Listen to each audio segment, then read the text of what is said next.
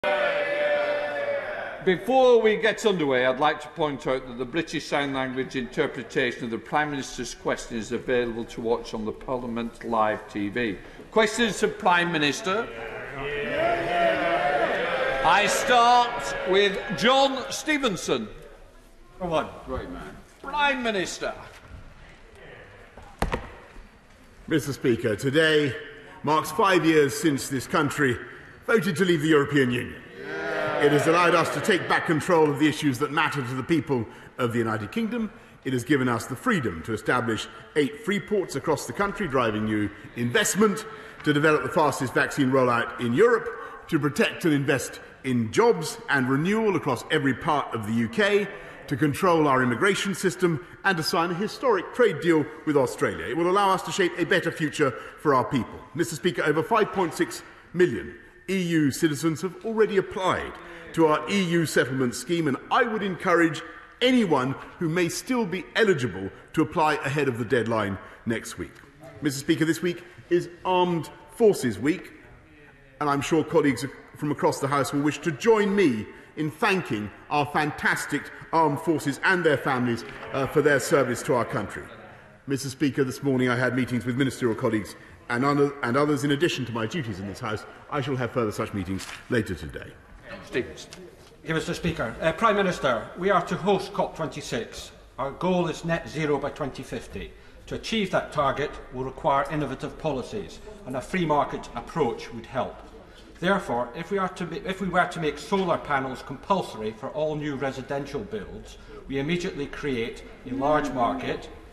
It will lead to innovation, lower prices, job creation and contribute towards our 2050 target. Will the Prime Minister support such a policy initiative?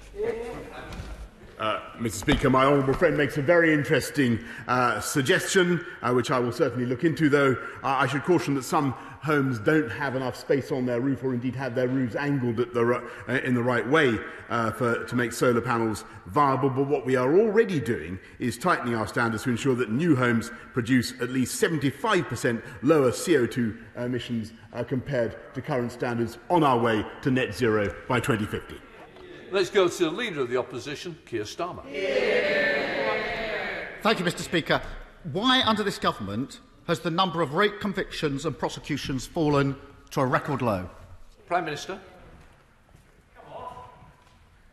Mr Speaker, one of the first things I said when I came to this dispatch box as Prime Minister uh, was that I thought that rape prosecutions and convictions uh, were too low, and that's why we have the end-to-end -end rate review, and that's why we've been investing in, uh, in independent sexual violence advisors and and domestic violence advisors, another 27 million. Uh, that's why we've been investing more in the crime prosecution service, another 85 million people. We're also dealing with the misery experienced by uh, rape uh, victims and survivors who have to hand over their mobile phones, Mr. Speaker, which I think has been one of the evidential problems that has arisen in prosecuting, uh, in prosecuting rape cases.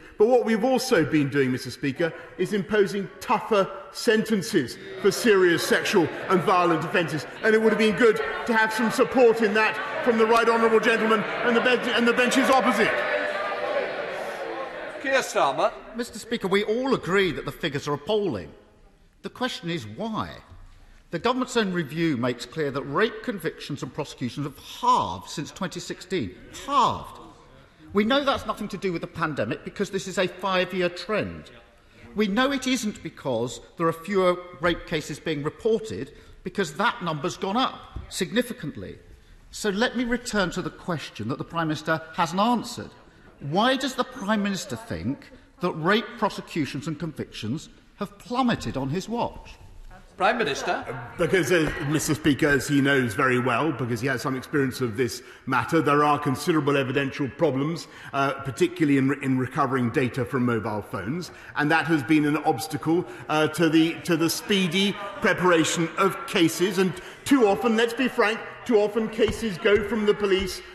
uh, to the Crown Prosecution Service not in a fit state, and too often those cases are not in a fit state when they come to court. And, and there is not a good enough join-up, Mr Speaker, across the criminal justice system. And, we are, and, and that, is exactly, that is exactly what we are addressing, Mr Speaker, now by our investments uh, with our end-to-end -end rate review. And what, would, and what would be good, to, Mr Speaker, is if we'd have some support uh, from the opposition for tougher for tougher sentences for rapists and serious sexual offenders. What kind of a signal does it send when they won't even back tougher sentences, Mr. Speaker?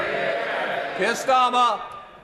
Mr. Speaker, the Prime Minister knows very well why we voted against his bill, precisely because it did more to protect statues than women. But, but, but, but since, he, since he's brought it up, Mr. Speaker, Let's address the central question. Prime Minister, 98.4% of reported rapes don't end up in a charge. 98.4%.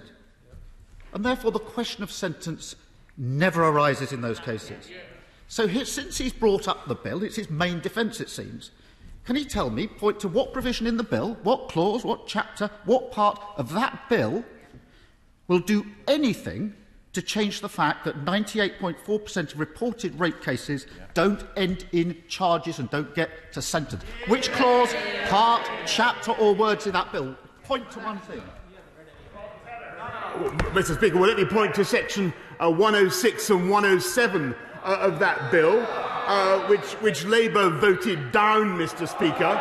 which would have, which would have stopped uh, the early release of rapists at their halfway point in their sense. What kind of a signal, what kind of a message does that send, Mr. Speaker, uh, to people who commit uh, the crimes of rape? It is very, very important that the message should go out from this House of Commons that we will not tolerate uh, serious sexual violence. And I'm afraid that the Right Honourable Gentleman has not been supporting that message. What we are, what we are doing now what we're doing now is bringing forward measures by investing in independent domestic violence, independent sexual violence advisors uh, to ensure that victims and survivors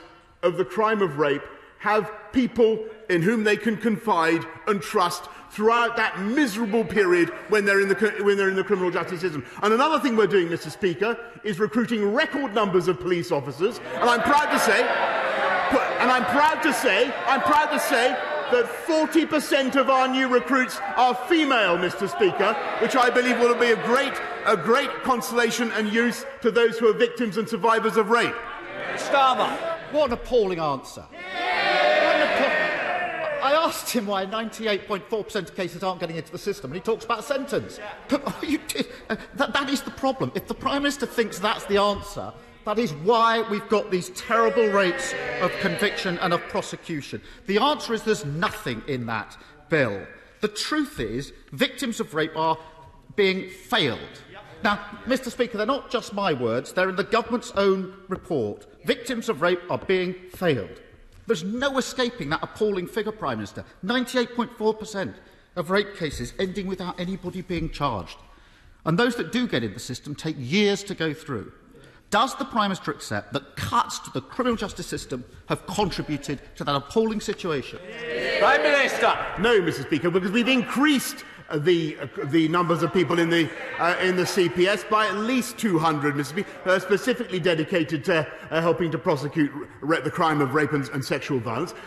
And, and, Mr. Speaker, we are absolutely determined uh, to stamp it out. This is a problem that has been going worse uh, because of the evidential difficulties caused by the, the data recovery process and the lack of the lack of unity, the lack of joined up thinking, but in all parts of the criminal justice system. That is something that this government is now addressing by more investment, by putting more police out on the street, and also by having tougher sentences. And finally, it would be good to hear him support it.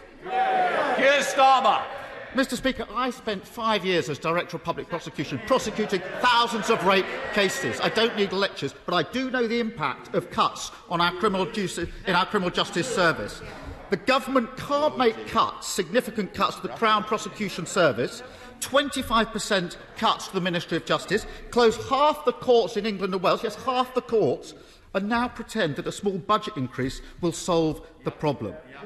But, Mr Speaker, this is more than just about cuts. The rate review is welcome, but it's weak. The Victims Commissioner, the government's Victims Commissioner, described the review as underwhelming. Oh, it could have been 10 times stronger. That review is littered with pilots and consultations on proposals that have literally been discussed for years and years. It is so unambitious. Mr Speaker, isn't it the case that despite these shameful figures, and they are shameful, the government still isn't showing the urgency needed to tackle the epidemic of violence against women and girls?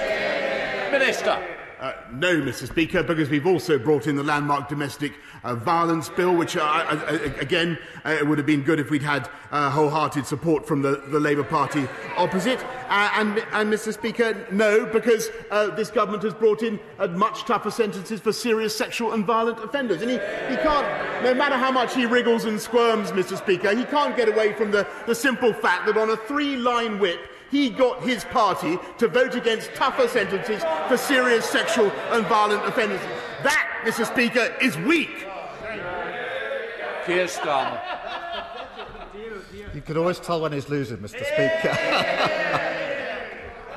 on, on... Oh, oh, oh. I want both sides. It's a very, very emotive and important issue. I need to hear the question and the answers. And I certainly don't expect shouting from the back benches. Keir Starmer. Mr Speaker, on the Prime Minister's watch, rape prosecution convictions are at a record low. Court backlogs are at a record high. Victims are waiting longer for justice and criminals are getting away with it. This wasn't inevitable.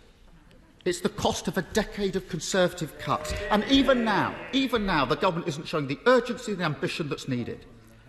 Mr Speaker, the Justice Secretary has done the rarest of things for this government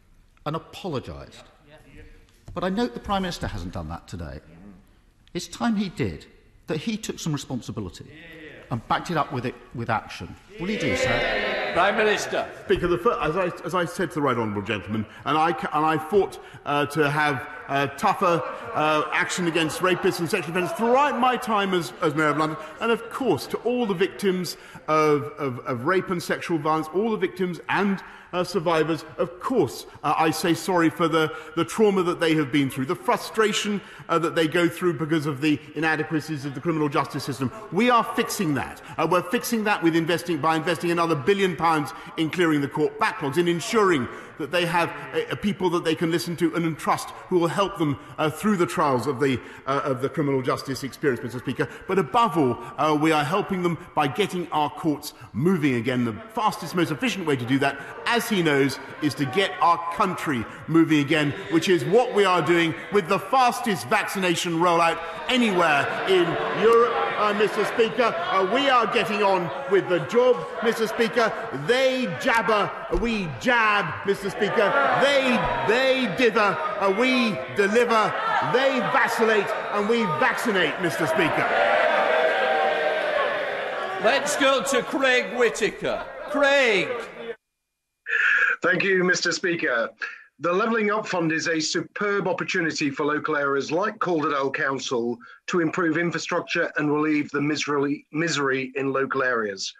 With that aim, will my right honourable friend take a serious look at Calderdale's submission, which lacks support, has no consultation nor consensus with partners, and instead of relieving infrastructure problems, ploughs on with one of the council's failed and doomed projects, which does nothing at all to level up and has no support locally? Uh, I thank my honourable friend for his question, and I hope very much that, and, and I think the Levelling Up Fund has the potential to do massive uh, good for, uh, for Calderdale and, and indeed the whole country. And I hope that uh, Calderdale Council will have listened uh, to his strictures uh, th this morning and this afternoon and will act. They now come to the leader of the SNP, Ian Blackford. Yeah. Thank you, Mr Speaker. This morning, the Herald newspaper revealed that in the middle of the pandemic, Tory ministers secretly directed funds from an emergency COVID contract to carry out polling on the union. This evidence was uncovered in official documents submitted to the High Court, so the Prime Minister would be well advised to be very careful in his answer to this question. And it's a very simple question.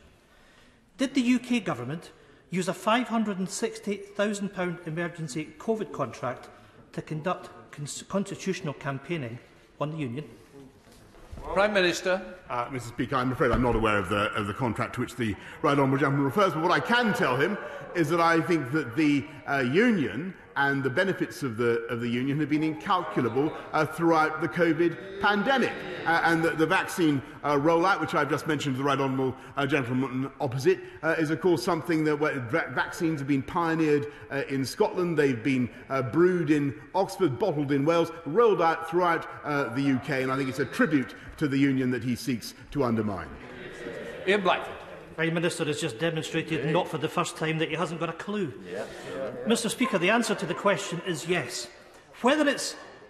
redecorating the Downing Street flat or siphoning off COVID funds for political campaigning, the pattern is clear. The Tories simply can't be trusted. Because, let's be very clear as to what happened here. These emergency COVID contracts were supposed to be used for things like PPE, for our brave doctors and for nurses fighting COVID. Instead, during the height of this deadly pandemic, the Chancellor of the Duchy of Lancaster used these emergency contracts to commission political research, and I quote, on attitudes to the UK Union. What's worse, he handed these lucrative contracts to long-term friends and former employees. In essence,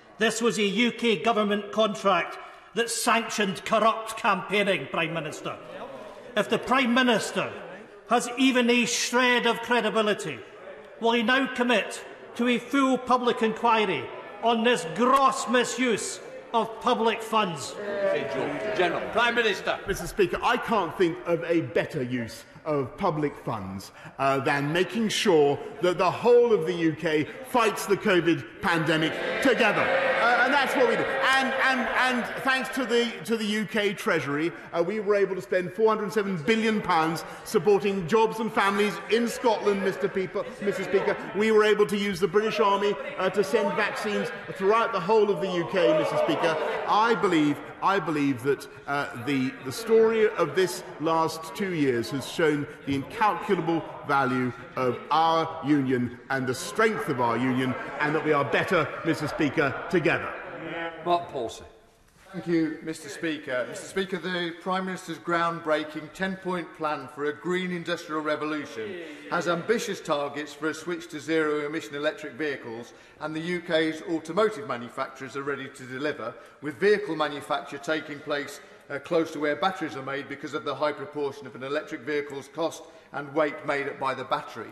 Mr Speaker, Coventry is the historic home of the car industry and the uh, headquarters of Jaguar Land Rover, who made the car in which the Prime Minister travelled to Parliament today. So will he give his support to the proposal to build a gigafactory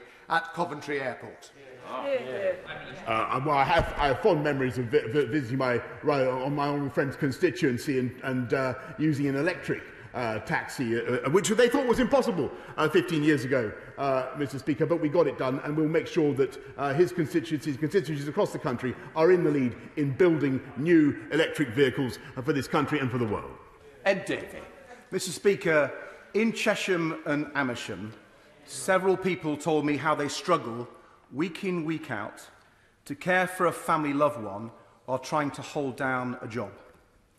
They told me they felt the Prime Minister wasn't interested in them, that he wasn't listening to them, that he didn't care about them. And Mr Speaker, such inspiring working family carers aren't unique to Cheshire and Amersham.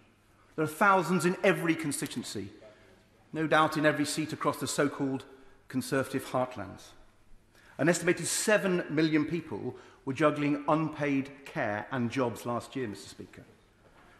So what is the Prime Minister going to do to make these people's lives a little bit easier? When is he going to stop taking working family carers for granted. Yeah.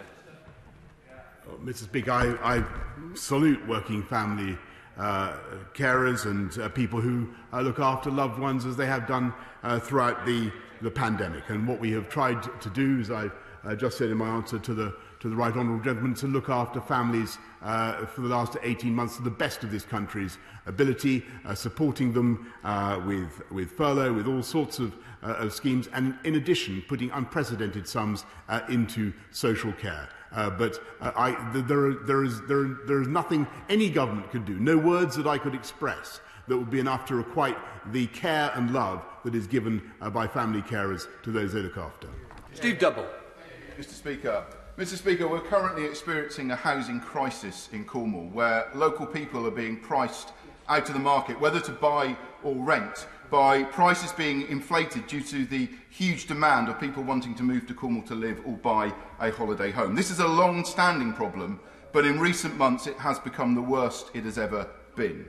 As the government bring forward their reforms of the planning system, can my right honourable friend assure me and the people in Cornwall that this will not be about building lots of homes for wealthy people to buy, but will ensure that the people of Cornwall are able to access the homes that they need. Yeah. Uh, my uh, honourable friend raises a point that has been raised repeatedly with me uh, in Cornwall, and uh, we are absolutely determined to address the, the issue in question and uh, to work with Linda Taylor, uh, the, uh, the, the leader of, uh, of uh, Cornwall Council, the, the newly Conservative uh, Cornwall Council uh, to, in, to ensure that we build local homes for local people so that young people growing up in Cornwall have the chance of owning their own home. Let's go to Julie Elliott. Julie. Thank you, Mr Speaker. Whilst football clubs, charities, mums and dads in Sunderland and across our country were searching for that old laptop in the cupboard to give a child the data and device needed to learn during the pandemic and lockdown, the largest company in the world was throwing brand new tech into landfill. Amazon don't pay their fair share of tax, they treat their staff badly, and now they deny internet access to our poorest children. Will the Prime Minister join me today in unequivocally condemning this appalling practice by Amazon?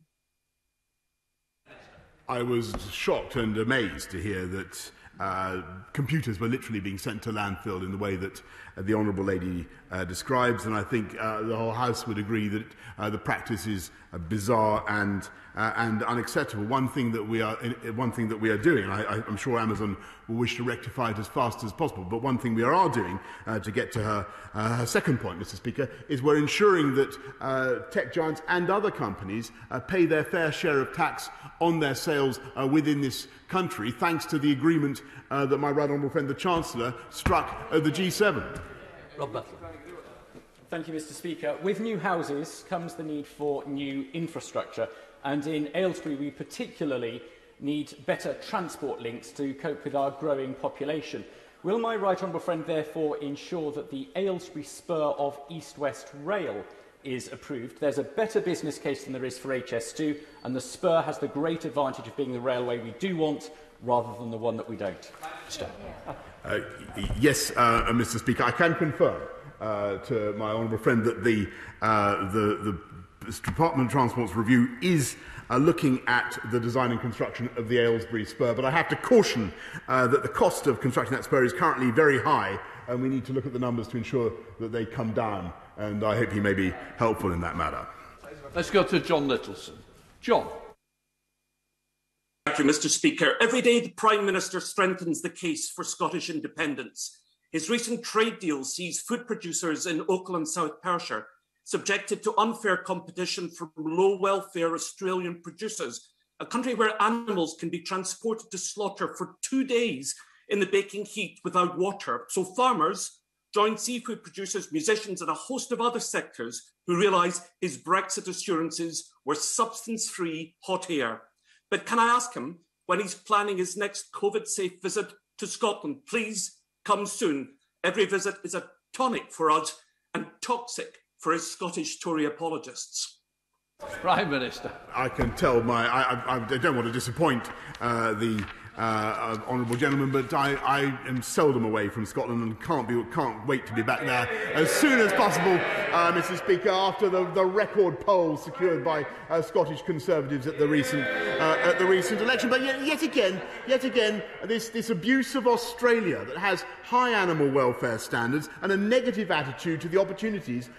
that free trade offers this country and the people of Scotland. When's he going to stop running down Scottish agriculture and the potential of Scottish farmers? me? The Wheeler. Thank you very much, Mr Speaker. Um, would my right honourable friend, the Prime Minister, join with me in thanking Derbyshire Police for their excellent work in rounding up and arresting and charging people involved in the recent incidents of stabbing, where one young man was murdered and others badly hurt. This murder in Swadlincote, a very rare event, has caused concern amongst residents but the very swift action taken by our Derbyshire police has taken the perpetrators off the street. Clearly more police in South Derbyshire would be very much welcomed by our residents. my honourable friend is, is entirely right to raise the, uh, the appalling murder in, in Swaddling Coat, and uh, we're making sure, by the way, with our police and crime bill, uh, that uh, such crimes are, are dealt with uh, in a more expeditious way with greater powers for the police. But we're also recruiting as I say, 20,000 more police, including uh, an additional 85, she will be pleased to know, in Derbyshire. Right, let's go to Dr Philippa Whitford. Philippa. Thank you very much, Mr Speaker. During the Brexit referendum, the Prime Minister promised there would be no change in the rights of EU citizens in the UK. Yet in a week's time, those without settled status will lose the right to work, rent a flat, or access free healthcare. This government has demanded repeated grace periods during the Brexit process. So, will he now finally agree to extend the deadline for EU citizens? Minister. Mr. Speaker, the EU settlement scheme has been one of the great successes of our, our, our, our recent uh, Brexit negotiations, and it has produced it has produced 5.6 million applications already. And I, I, seem to remember that we were, uh, we were told there were only 3.2 uh, million or 3 million uh, to begin with. Uh, I think that uh, everybody knows what the deadline is. I hope people uh, will, will come forward and, and, and, and, do what 5.6 million people, other people, have already done themselves. Sir James Davies. Thank you very much, Mr Speaker. Large sections of the wine near St Asaph in my constituency currently have very poor broadband connections. Topped up gigabit vouchers via community fibre partnerships have the potential to raise much of the £200,000 needed to address the situation, but there's a 24% shortfall.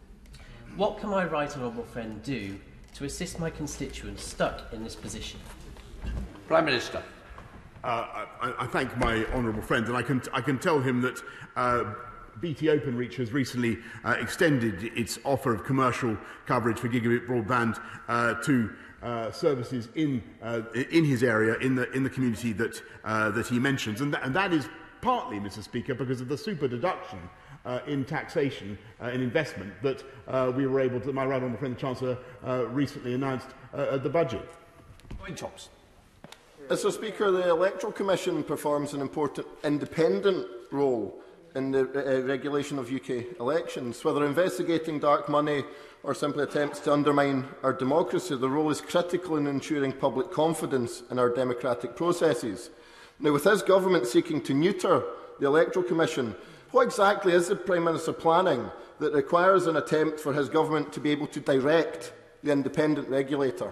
Yeah. Uh, for the sake of brevity, Mr Speaker, I think I can say absolutely nothing. Andrew Mitchell. Thank you, Mr Speaker. Has uh, my right honourable friend had a chance to review the recent announcement from the Foreign Office that Britain is to cut its support for tackling neglected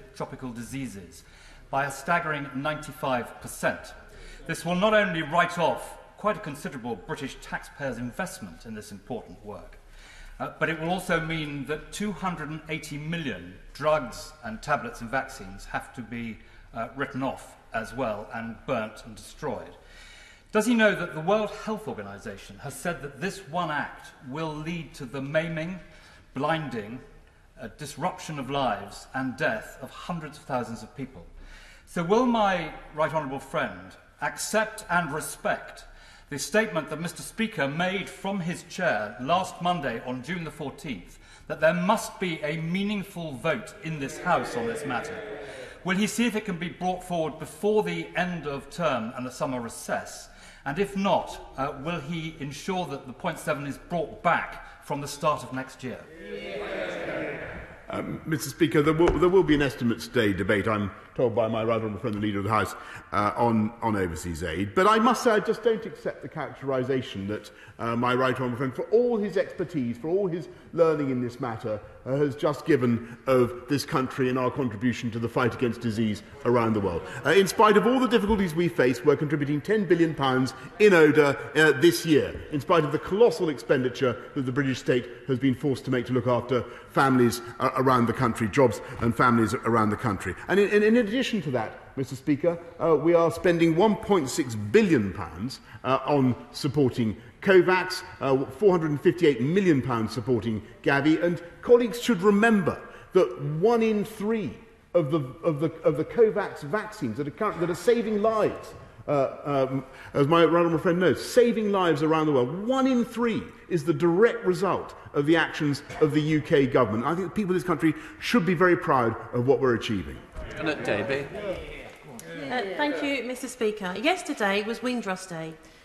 the 73rd anniversary of the arrival of Caribbean people from Commonwealth countries in 1948. Yet this year, it's a reminder of the appalling failure of the government's Windrush compensation scheme, which has been disturbingly slow and extensively bureaucratic, that at least 21 people have died while waiting for justice and only 687 people have received any payment at all.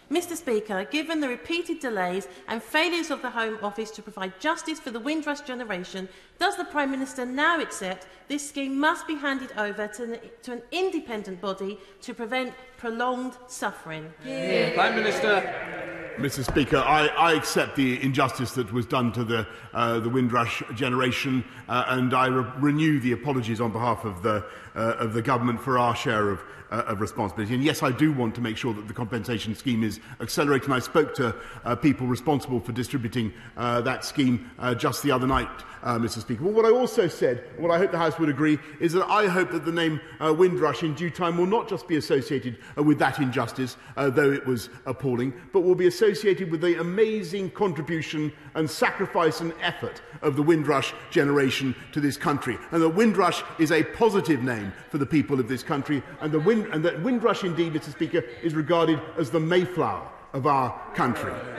Esther Macbeth. Thank you, Mr. Speaker. When High Speed 2 was first proposed, the estimated cost was £37.5 billion. The latest estimated cost is now over £150 billion and rising fast.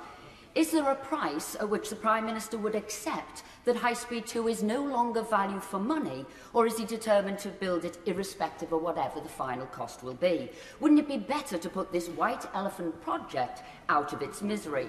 Get rid of High Speed 2 and instead deliver high speed broadband, reliable 1 gigabit capability at a fraction of the cost to every household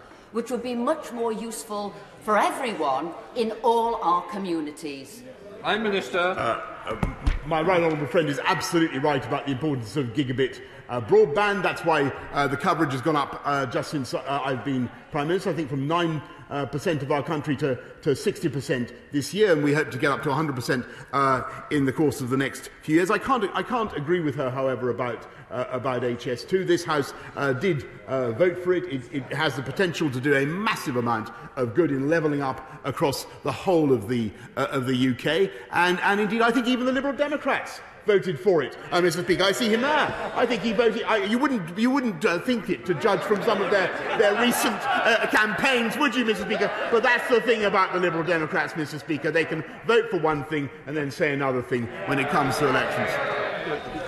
Let's go to Bell Ribeiro Abbey. Bell. Thank you, Mr. Speaker. When the COVID 19 pandemic exploded, scientists warned that with the rapid transmission, more dangerous variants would emerge and vaccines could lose efficacy in the face of mutations. Now, variant upon variant has sparked surge testing, further lockdowns, and a recent delay to the end of restrictions, with 41 people already reported to have the more virulent Delta Plus variant. The Prime Minister held his vaccine donation as putting people squarely above profit, but this is lousy in the face of the fact that intellectual property is driving global supply shortages. So, does the Prime Minister understand why it's no use for the G7 to promise a billion doses at some point in the future when people are dying now and the success of our vaccination programme is under threat from emerging variants now? And will he reconsider his negligible vaccine donation policy and join over 100 countries in supporting the vaccine? intellectual property waiver. Minister. Mr. Speaker, I, I, really think it is uh, satirical to uh, say that the, uh, the G7's efforts have so far been negligible. Uh, what uh, they agreed at Carbis Bay was another billion on, uh, on, top of the billion that have already been contributed. the UK is putting in,